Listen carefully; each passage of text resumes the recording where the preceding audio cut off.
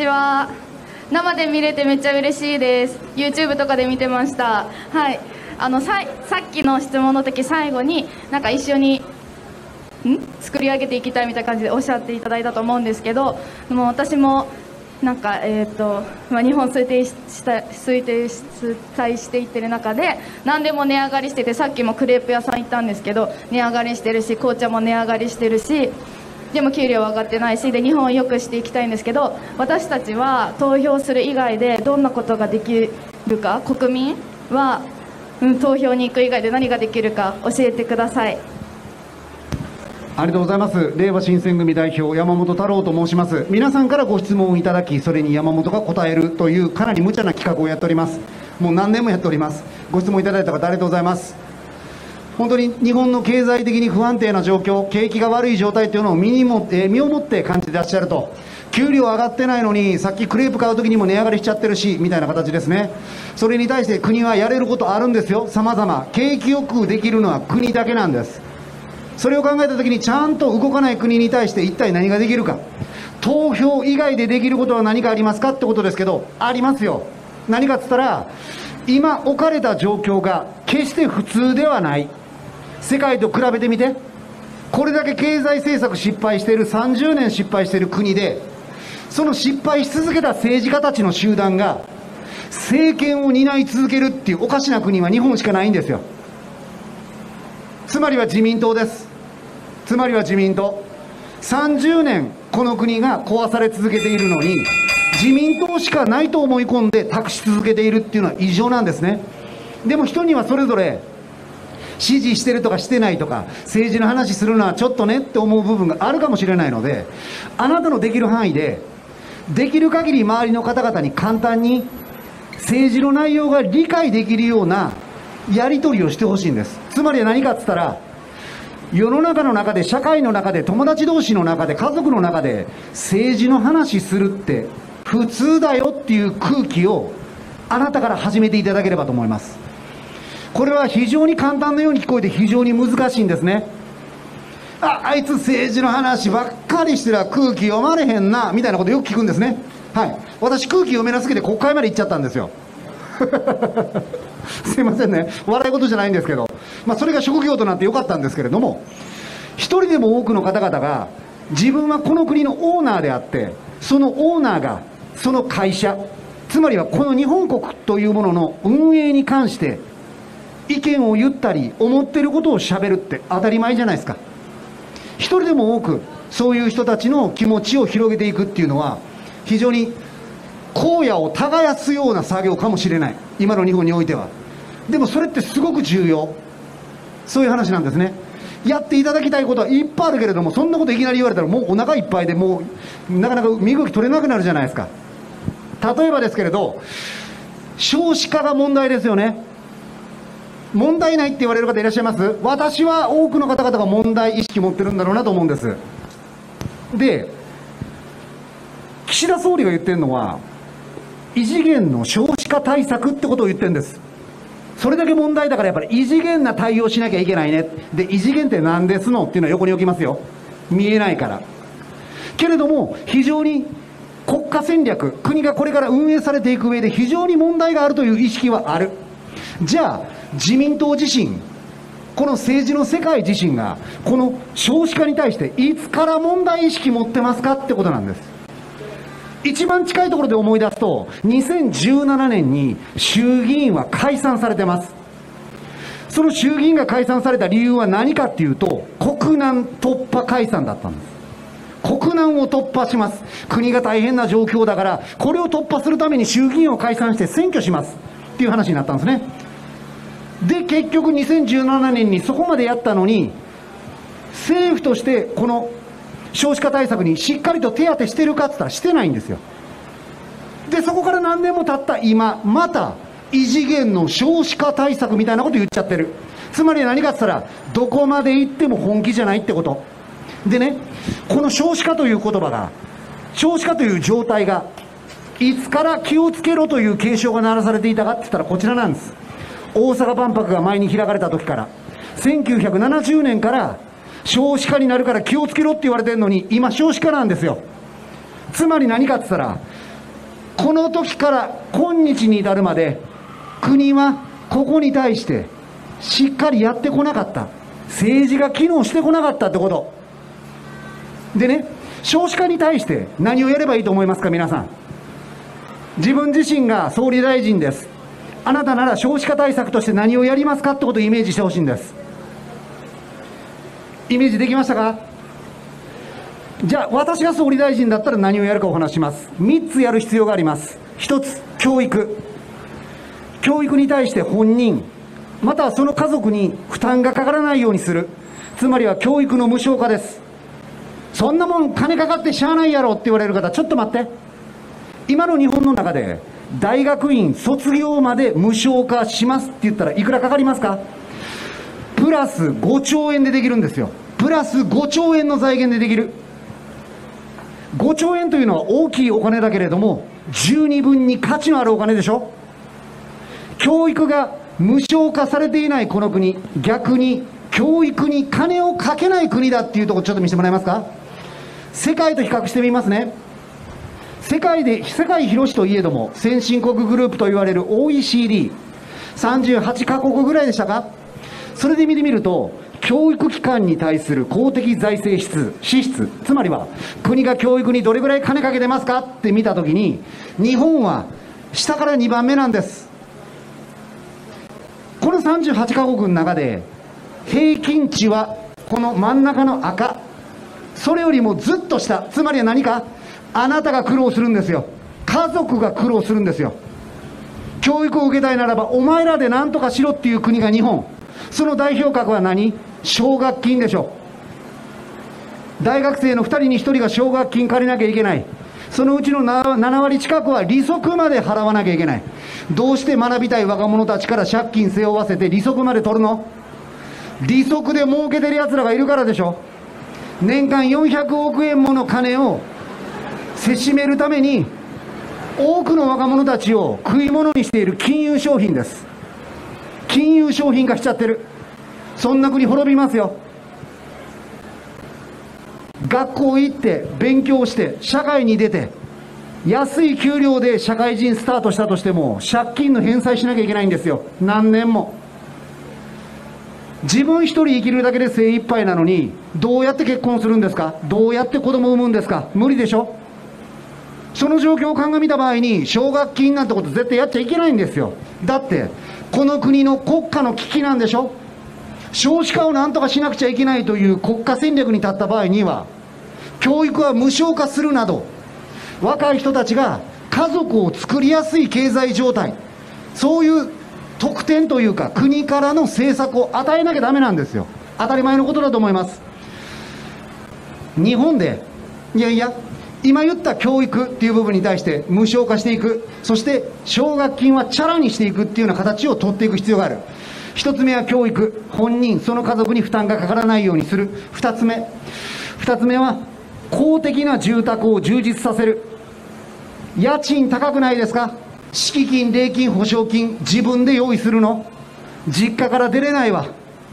実家から出れない人たちいっぱいいますよ。だってそんな資産を準備するって難しい人たちいっぱいいるから。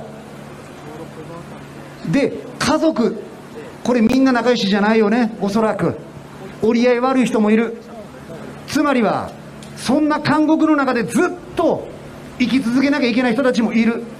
自分が望めば自分の家を持てる。部屋を持てる。当たり前の社会にしなきゃダメなんです。日本は非常に社会的住宅。公的住宅が少ないんですねこちらご覧いただくと一番左が国の名前でえオーストラリア、デンマーク、フィンランド、フランス、ドイツ、イタリア、オランダ、スペイン、スウェーデン、イギリス、一番下、日本になってます。これランキングではありません。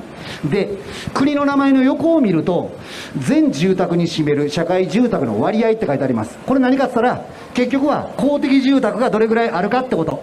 で、まあヨーロッパ結構高めなんですよ。一番下の日本見ると5%しかない。全部の住宅の上で公的住宅は5%だけ。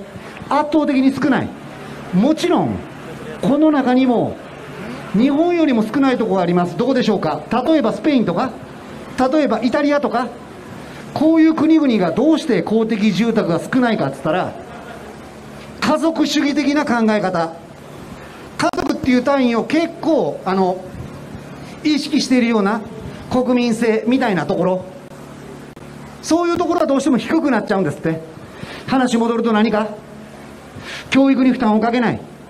資金礼金保証金などなしでその人の所得でその一部で安い家賃で入れる公的住宅。例えばコロナの時コロナの時に非正規の仕事してました。けれども仕事を減らされていったら収入減るよね。収入減ってまず頭に来るのは何かっつったら家賃払えなくなる。家賃払えなくなることが確定する。その先に何が来たかっつったら追い出される。このコロナ禍で職を失った。まず最初に職を失った多くの非正規。その中でも路上で生活しなきゃいけないっていう10代から。80代まで多くの人たち見てきましたよ。こんな社会じゃダメなんですよ。社会的に経済的に何か大きな打撃。経済の不況であったりとか疫病であったりさまざまな理由で不安定な状況に陥ったとしても住まいは絶対に失わない。これを基礎とするしかないんです。住まいは権利ってこと。教育には本人家族に負担をかからないようにする。住宅は公的住宅。これをしっかりと充実させていく。新しく建ててもいいし今中古のマンションとか空いてるところとかっていうのを国が借り上げる買い上げるも可能なんですよ。ウィンウィンじゃないですか。家主さんと。そして最後のもう一つは収入が少ない人に対して国がお金を出さなきゃダメなんです。給付金。一人生きるだけで精一杯。そんな状態では家族は作れない。少なくとも一人でもちゃんと生きていけるしそれだけじゃなく家族を作ろうかということにもリーチできるような生活状況にしていくしかないんですよ。だってワーキングプア年収200万円以下。これがスタンダードの社会なんておかしいじゃないですか。おかしいですよ。それじゃ足りない。当たり前のことです。十分に生活できない。人間の尊厳守れない。この国ではルールがあるんです。何か？ルールの王様憲法。憲法とはこの国の最高法規。一番トップですよ。その25条で一体どのようなことが書かれているかってことを皆さんにご覧いただきたいと思います。この条文は私憲法の中でひょっとして一番好きかもしれない。非常に熱い。政治としてどんな使命を受けているか。今とは真逆です。はい。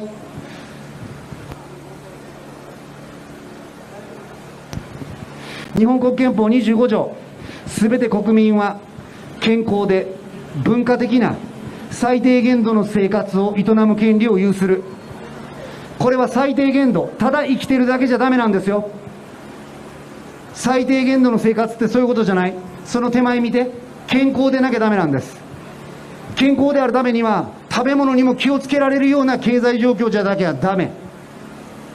ちょっといいものを買おうと思ったらプラス100円するとか200円するっていう部分をプラスできない人たちいっぱいいるから。10円安いものを追い求めるって人たちも大勢いらっしゃるんですよ。ギリギリですよそんな生活。それじゃダメ。いいものを選んでいくってことが可能な経済状況を国として作らなきゃダメ。当たり前でしょ。30年間経済衰退させてみんなの賃金だだ下がりで格差は開いて貧しい人たちがあふれるような社会をこれから先加速していくっていう今をこの今をちゃんと政治が手当てしなきゃダメなんですよ。そのようなプラス体にいいものを買える人たちが増えれば逆に言ったらそこの価格帯も下がりますよ。話戻ります。健康であるためには一定のやっぱり経済力必要です。それだけじゃない。文化的。文化的って当然あなたが聴きたい音楽読みたい本見たいミュージカルそういったものにも投資できる。美術館に行きたいとか博物館行きたいとか。健康で文化的な最低限度の生活を営む権利を有してるんです。皆さんは。今そうなってるかってこと。とてもじゃない。そんなことにはなってない。じゃあ今どうなってるかってもう一回見ていただきます。厚生労働省国民生活基礎調査。コロナが来る前の日本の状態です。生活が苦しいと言われている方々全世帯の54.4%母子世帯86.7%おかしいでしょこんなの。そんなこと言ったって国自体がやばいんだからみんな貧乏になってるよ大企業もって話になってませんよ。資本家だけは儲かってんだってこともう一回見てください。10年連続で内部留保過去最高ですよ。毎年更新。毎年過去最高儲かってんですよ。一部だけには金は流れて底上げはされる。2011年から見てみると83%増加してんですよ。はっきりしてんです。お仲間かお仲間でないか。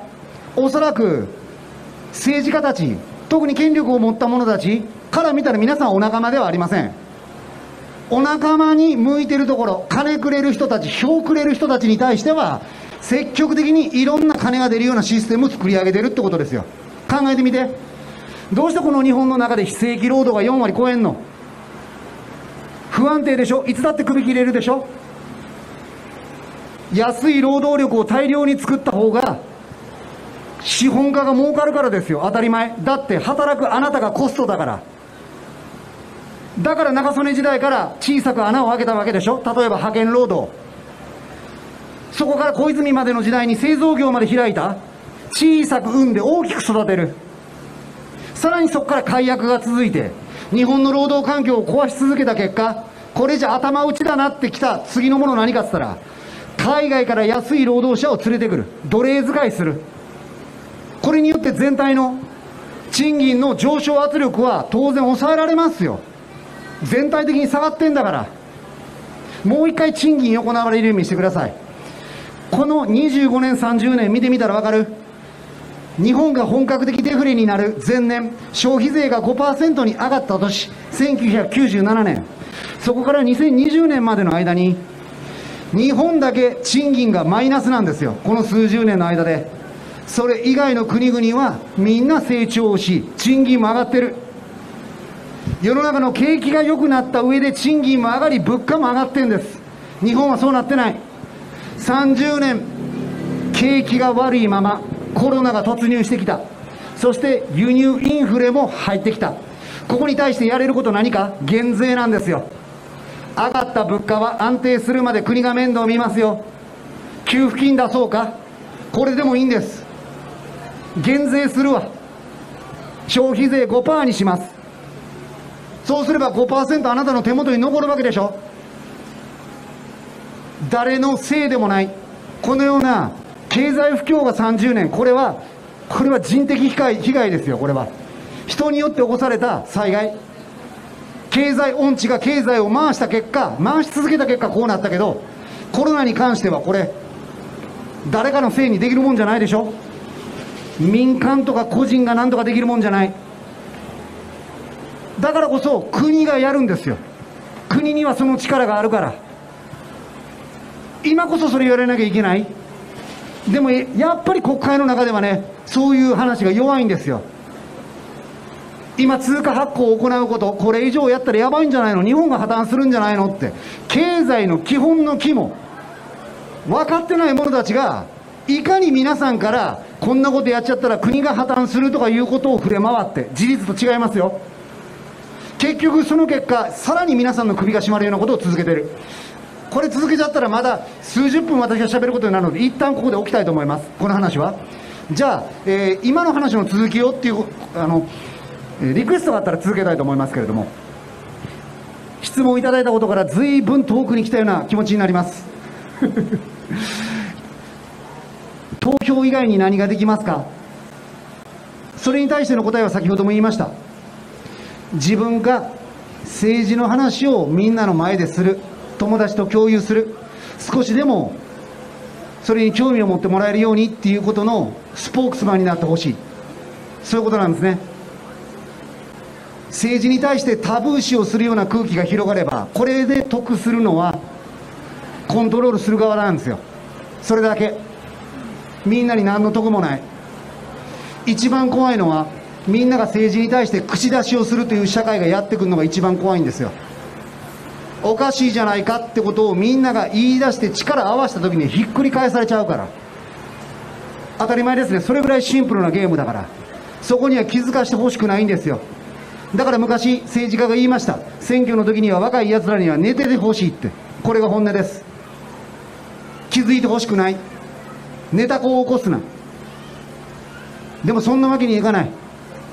やっぱりこの国のオーナーで共有していきながらそこは変えていけるっていうことをやっぱり再認識みんなでしてこれひっくり返してやりたいんですよ。おもろい社会作りたい。